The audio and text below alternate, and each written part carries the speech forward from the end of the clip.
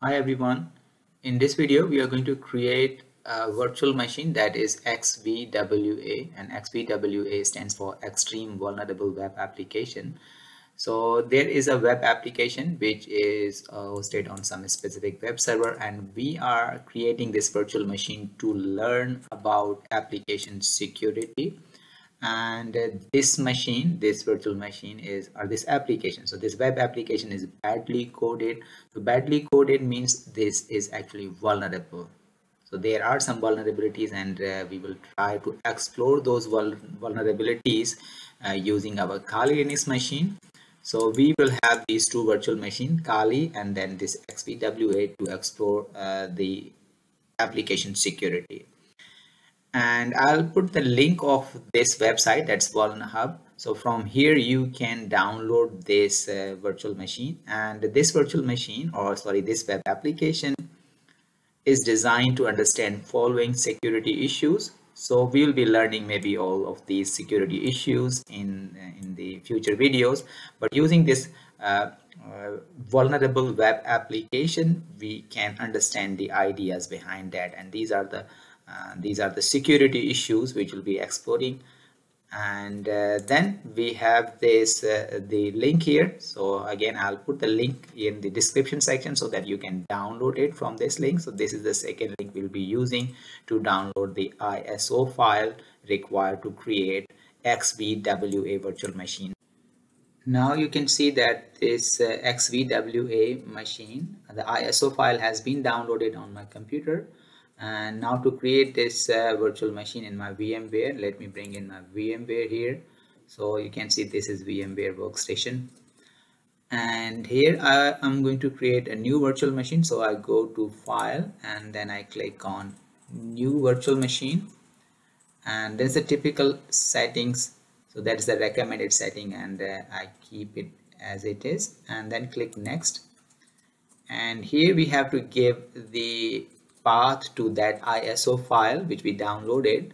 So that ISO file is in my downloads folder. So I'll just click on browse and then you can see here in my downloads folder we have this xvwa ISO file. So I'll give the path of this ISO file here and then click open and then we click next and here actually this virtual machine is actually Linux based machine so I'll select Linux here and then I click next.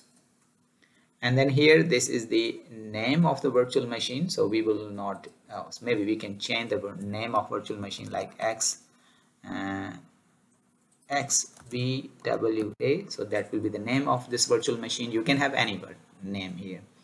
And then we click next. And this the maximum disk size which will be used by this virtual machine. We keep it as it is whatever recommended settings are there. And this simply the split virtual disk into multiple files so that will be kind of recommended setting. We are uh, we are keeping it as it is. And then we click next. And here it shows all the configurations. So this is ready to create virtual machine with this name and this is the location and this is the version. So you can read it everything here.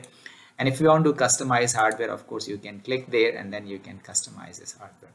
So and one last thing I, I, would like to point out that this network adapter which is actually connected with the net the network address translation is the option. So now at this time this setting shows that this newly created virtual machine can access internet. But to be on safe side because this is actually vulnerable machine it has many weaknesses. So to be on safe side we will change it to uh, host only network because we want this virtual machine to be in an isolated network and if you like then we, I have some introduction on this net and host only and bridge network in some other video. So for that you can refer to that video. But at the moment I'm just going to change this. I'm going to click here on net. And uh, instead of net I'll select host only. And then I close it. And then I'll just finish this.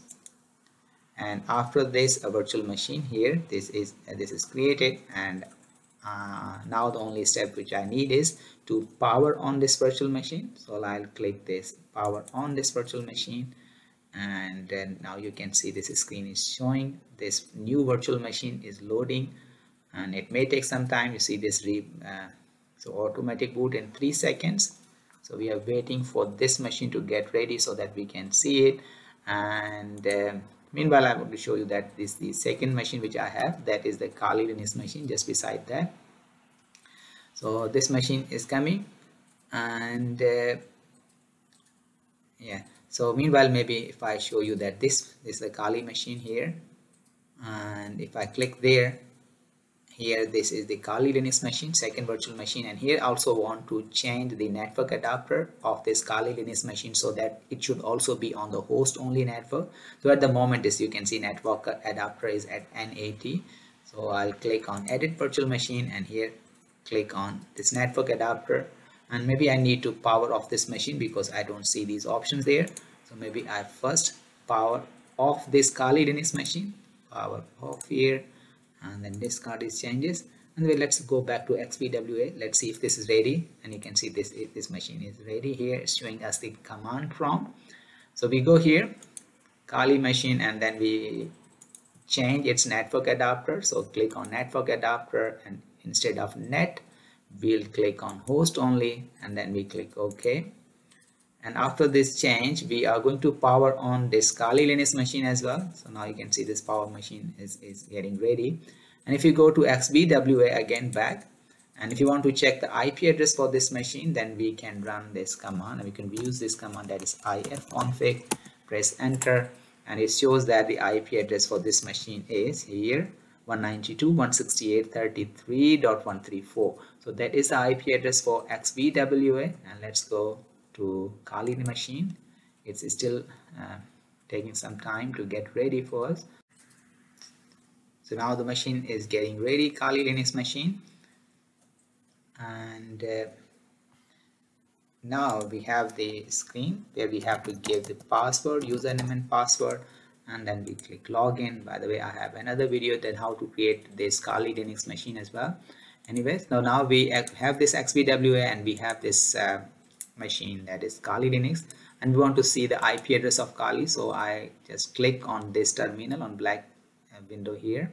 And now have the terminal. And in this terminal if I write ifconfig so with this command we can see the IP address for this Kali Linux machine. That is 192.168.33 and 129 so you can see here this is 192.168.33 and here this is 192.168.33 and this shows that actually this is a class C IP address and this is a subnet mask. So this shows that both of the virtual machines are on the same subnet.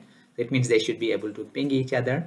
And to verify it, we can maybe go to Kali Linux machine and then we give the IP address of uh, XVWA machine to verify that these two machines are able to communicate with each other.